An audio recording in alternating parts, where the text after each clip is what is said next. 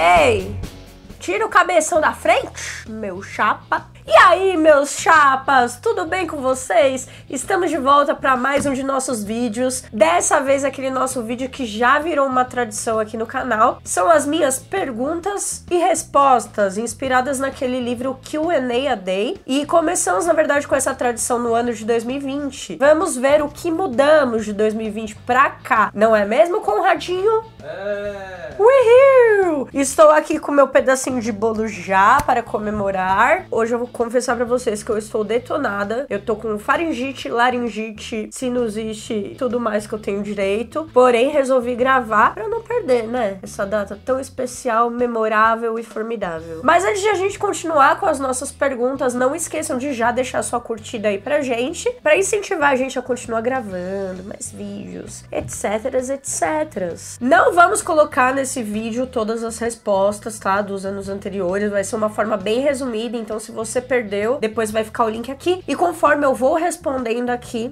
vocês podem colocar a resposta de vocês aí no comentário. Beleza? Então tá bom. Vamos lá, enquanto isso eu vou comendo meu bolinho, porque é tradição gravar esse vídeo comer bolo, né, gente? E hoje vejam que eu estou com uma espinha diferente. No último era aqui na testa. É só isso que tá diferente, né? É, só isso. Vamos lá. Primeira pergunta. Quantos anos você está fazendo? 33 anos. 34 aninhos. 35 aninhos. Isso é fácil, hein? Você está velha demais para quê? Pra pular no pula-pula do Dia das Crianças. Pra frequentar o prezinho. Pra entrar nos rodízios sem pagar nada. Que eu não sou mais uma criança. Felizmente. Você é jovem demais para quê? Eu sou jovem demais para morrer. Morrer. Pra morrer, obviamente. Eu só tenho 35 anos. Vou morrer? Tô doida. Quais são as suas duas comfort foods favoritas? Acarajé, acarajé, acarajé e torresmo. Baião de dois. E torresmo. Quantas horas você se exercita por semana? Hum. Acho que agora tá dando uma hora por semana que eu tô fazendo uns 20 minutos de yoga, assim, mais ou menos. Zero. Olha, agora que eu voltei a trabalhar, eu caminho até a escola um quilômetro e meio, volto um quilômetro e meio. Dia. Olha pra câmera, não olha pra mim. Eu, quilô, eu quilômetro três caminhos por dia. e eu também corro atrás das crianças e brinco de várias brincadeiras. Então, todo dia eu faço exercício. Quantas horas você Quantas isso horas? dá por semana? Digamos que umas os 20. Próxima pergunta. Manda bala. Qual sua rede social favorita? Mete bala, te amo, te amo. Eu não sou mais tão chegada em rede social, eu acho. Mas eu acho que Instagram eu gosto mais. Cara, atualmente eu tô gostando muito do Discord. Acho que eu já respondi TikToks. Eu tô gostando muito do TikTok. E embora eu não produza conteúdo pro TikTok, eu me distraio muito assistindo os vídeos. Mete bala, te amo. Cheirosa, te amo. Qual é o filme mais próximo da sua história de vida? Atualmente, vamos adicionar o atualmente, porque senão você vai responder a mesma coisa todo vídeo. Escritores da Liberdade. Escritores da Liberdade. Cara, mas o Escritores da Liberdade tem tudo a ver com a minha vida. Que tipo de objeto você ainda tem da sua infância? Eu tenho uma Barbie que minha avó Vilma me deu. A Barbie que minha avó Vilma me deu. A Barbie que minha avó Vilma me deu. Se você pudesse sair com uma celebridade por uma hora, quem seria? Com a Carolina Maria de Jesus, eu acho. Alex Lyron. Henry Cavill. Por que não? Ele é meu amigo. O que, que te fez rir hoje? Foi o cartão que eu recebi da minha aluna. Muito fofo. Peraí, deixa eu mostrar. Depois da meia-noite, você jogando Gartic e fazendo os desenhos do Smurfs e do do Peter Pan que parecia o Robin Hood. O coelho assistindo Turma da Mônica na TV. Minha chapa, feliz aniversário pro Fernanda, amor. Aí eu ri muito porque eles começaram a usar o bordão, né? Meu chapa. Isso me fez muito feliz hoje. Descreva o seu trabalho dos sonhos. Eu já trabalho no trabalho dos meus sonhos. Quer trabalhar com criança. Eu gosto, assim, de um trabalho Kinder Ovo. Todo dia uma surpresa diferente. E isso eu tenho com contato com as crianças. É essa relação que eu tenho tenho de igual para igual com a molecada, de receber meus feedbacks diários, os carinhos e tudo mais, e a gente aprender juntos, né? Juntos e juntas. Porém, contudo, todavia, eu sei que eu já repeti nos anos anteriores e vou repetir. Infelizmente, há muito descaso por parte dos governantes, enfim, outros setores da sociedade com os profissionais da educação. Então, infelizmente, a gente não é tão valorizado como deveria, né? Fale de um hábito ruim seu. Eu falo gritando. Só que eu só levo bronca, eu não acho ruim, porque minha família toda fala gritando. Aí quando eu falo gritando aqui, eu levo bronca. Nos dias que eu tava ficando muito triste, aí eu falava: Hum, eu tenho que me permitir comer uma coisa muito gostosa. Aí eu tava gastando muito com delivery. Eu falo gritando. eu falo berrando. Talvez por isso que eu esteja rouca também. Como seria uma estátua sua? Seria peladona. Ah, porque, tipo, toda estátua é peladona. E eu estaria fazendo assim, ó. Sou eu fazendo assim, escrito embaixo, show. E atualmente seria assim. E aí embaixo tá escrito, e aí, meu chapa? E posso estar pelada? Se você pudesse estar em qualquer lugar do mundo agora, onde estaria? Na casa dos meus pais, porque eu tô com saudade dos dois. Na casa dos meus pais. Tô com saudade deles. Visitando meu avô em Muritiba. Porque meu avô tá muito, muito velhinho. E faz tempo que eu não vou visitá-lo. Quais roupas mostram a verdadeira você? Atualmente, calça legging preta, All Star e alguma blusinha, camiseta. Pode ser uma regata preta, pode ser uma camiseta de banda. Pretas, geralmente. Atualmente, pijamas, né? Por causa da pandemia. Mas eu gosto muito de roupa preta e All Star. Camisa xadrez. Atualmente eu tô usando muito tênis Vans, coturno, All Star, padrão xadrez, roupa xadrez, tal, camisa de banda, eu gosto bastante, camisas engraçadas, batom preto, batom vermelho, dependendo para onde eu vou. Você é uma pessoa extrovertida, introvertida ou um pouco dos dois? Introvertida total. As pessoas acham que eu sou uma pessoa extrovertida porque eu consigo enganar bem, mas eu sou extremamente introvertida. Sabe aquelas barrinhas do The Sims, do social? Aquela minha barrinha do social do The Sims, ela enche muito rápido. Então eu não preciso estar com pessoas o tempo todo. As pessoas falam que não, que ah, não parece tal. Eu sou uma introvertida que disfarço muito bem. Eu gosto de fazer as coisas quietinha, na minha, tal. Muito raramente eu tenho vontade de me socializar, enfim, mas eu produzo mais, eu sou mais produtiva enquanto eu estou sozinha, fechadinha na minha colcha e tenho meu espaço respeitado. Inclusive, se eu passo muito tempo com muito contato social, no dia seguinte eu preciso dormir o dia inteiro para recarregar minhas energias. Ah, e antes de a gente continuar, galera, vocês não seguem ainda o nosso canal. O que, que vocês estão esperando? Se inscrevam aqui embaixo e ativem o sininho para receber as notificações. Blém Blém! Ah, e se você quiser fazer uma doação, agora estamos aceitando também. Tem o botãozinho Valeu Demais.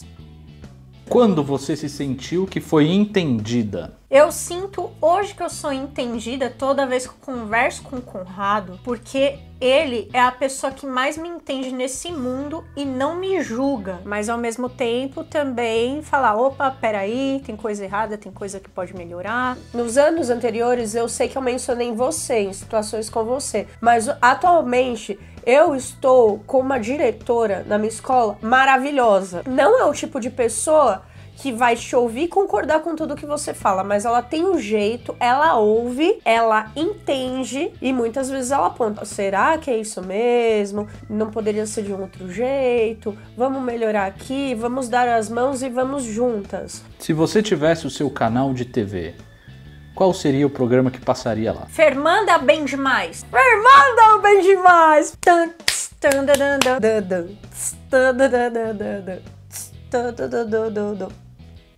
Você tem tendência a guardar dinheiro ou gastar dinheiro? Gastar, gastar. Eu comecei a me controlar muito, muito, muito, muito. Ok, não estou conseguindo guardar dinheiro como eu deveria. Inclusive, não estou guardando dinheiro nenhum. Mas eu estou conseguindo me controlar muito mais. Qual é o seu cheiro favorito? Eu gosto de cheiro de café, forno a lenha. Forno a lenha em si, você tá passando na rua e eu sinto aquele cheiro. Nossa senhora, que cheiro bom. Meu cheiro favorito é um cheiro que eu sentia quando eu era pequena e entrava numa quitanda com a minha mãe, que era uma quitanda de uma japonesa, que tinha do lado do prédio onde eu morava quando eu era pequena, quando eu tinha uns 4 anos. Era um misto de cheiro de fruta com cheiro de pãozinho fresco. Eu não sei explicar, aquele é o me melhor cheiro do mundo. Eu nunca mais senti aquele cheiro. Faz muito tempo que eu não sinto esse cheiro. Como é você na cozinha? Ah, quando eu quero, eu cozinho alguma coisa da hora, mas geralmente quem tá fazendo as comidas, as refeições é o Conrado. E tem dia assim que eu tô com vontade de comer alguma coisa específica, eu faço. Só que eu sou um desastre desastre, eu faço muita bagunça, eu deixo tudo sujo, o Conrado fica bravo, mas eu não lavo a louça, porque o combinado aqui é: se eu cozinho, você lava.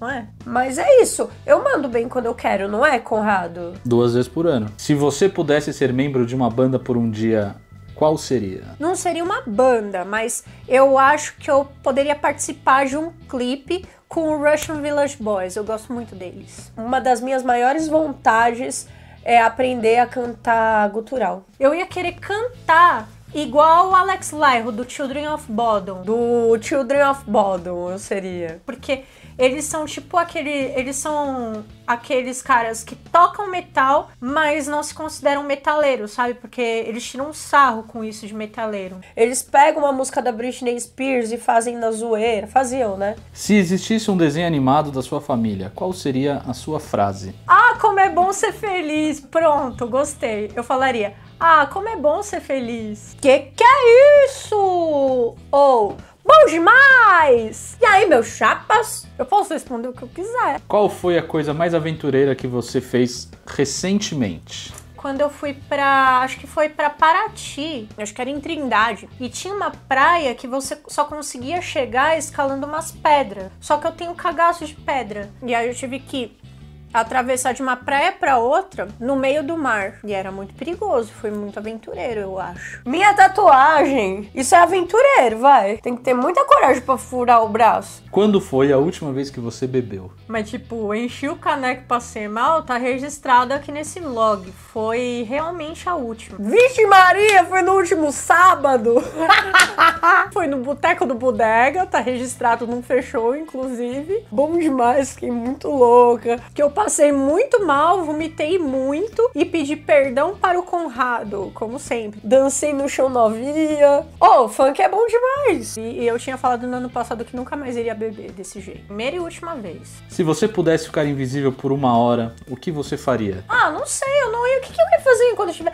já sei! Ia dar susto nas pessoas. Eu ia pregar peça nas pessoas. Ia ver várias pessoas peladinhas. E ia fazer muitas pegadinhas. Eu ia dar susto nas pessoas peladinhas. Como eu sou malvada. O que é que te dá energia? Botar o dedo na tomada.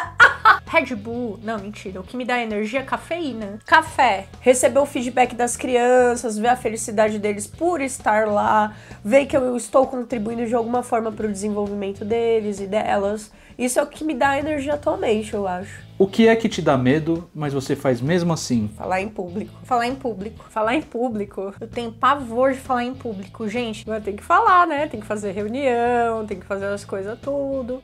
Ai, matar bicho. Se você tivesse dinheiro para começar um negócio, qual seria? Ah, acho que eu investiria em equipamento para continuar fazendo vídeos, coisas que eu gosto. Ah, eu acho que eu melhoraria os equipamentos aqui do canal, alugaria um espaço melhor para gravar, sei lá. Esse seria meu negócio. Reduziria um pouquinho da minha carga horária na escola para poder me dedicar ao canal, produção de conteúdo, essas coisas que eu gosto, mesmo que seja por hobby mesmo. Mas não seria um investimento assim para ganhar dinheiro, eu acho. O que é que te irrita atualmente? Ego inflado, muito falta de humildade, hipocrisia, cara. Quando as pessoas não me ouvem. Fingem que ouvem, mas não buscam entender. Não necessariamente concordar, não precisa concordar comigo, mas pelo menos ouvir, sabe? E intolerância. Intolerância especialmente com minorias. Inclui aí minoria também as crianças. O que você gosta muito de fazer, mas não tem tempo? Ah, tudo eu tenho tempo para fazer, eu acho.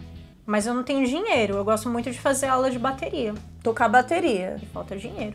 E talvez desenhar também, tentar desenhar um pouco mais. Eu acho que eu desenharia mais, mas é por pura cara de pau mesmo. Não é que eu não tenho tempo, não. Mas não é que falta tempo, falta vergonha na cara. O que você falaria pra Fernanda do passado? Cuida muito da sua saúde, coma coisas saudáveis, faça exercício físico. Trabalhe menos, Fernanda. Não vale a pena. Não esquente a cabeça com o seu trabalho. E uma mensagem positiva. Você vai ficar muito mais gata com o passar do tempo. Você vai ter uma carequinha. Calma que vai ficar tudo bem. Com todas essas fases, com todas essas crises, apesar dos pesares, você vai aprender muita coisa e vai se fortalecer. Vão chegar pessoas na sua vida que vão te fazer se sentir muito melhor também, que estarão ao seu lado lutando com você e algumas dessas pessoas, inclusive, que na época você tinha problema, hoje você vai conseguir ressignificar suas relações. Se você pudesse pedir uma coisa para Fernanda do futuro,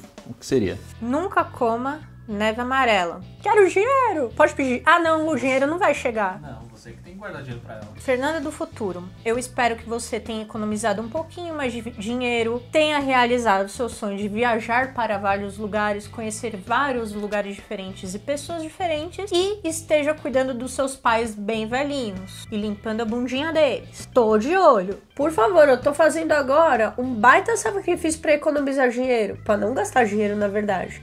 Então vai viajar, mulher. Vai conhecer o mundo.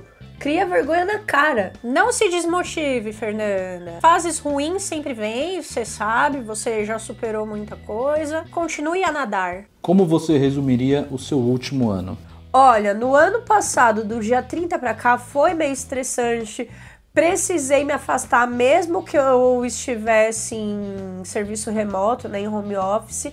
Porém, conforme eu fui voltando para a escola, foi me dando um gás, foi me dando uma animação e tudo mais. Foi muito corrido, eu fico muito chateada por não ter conseguido conciliar com o canal, mas não porque eu não tive tempo, mas porque eu fiquei workaholic mesmo e viciadaço assim no trabalho da escola, em fazer as coisas, em trazer coisa para casa das crianças.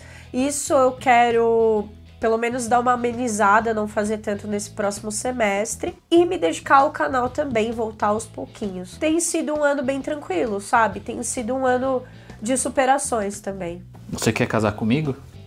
Você tá brincando? Não, eu tô perguntando, você não quer? Eu quero casar com você. Ah, então casa comigo. Você vai me perguntar isso todo ano? Vou. Até casar.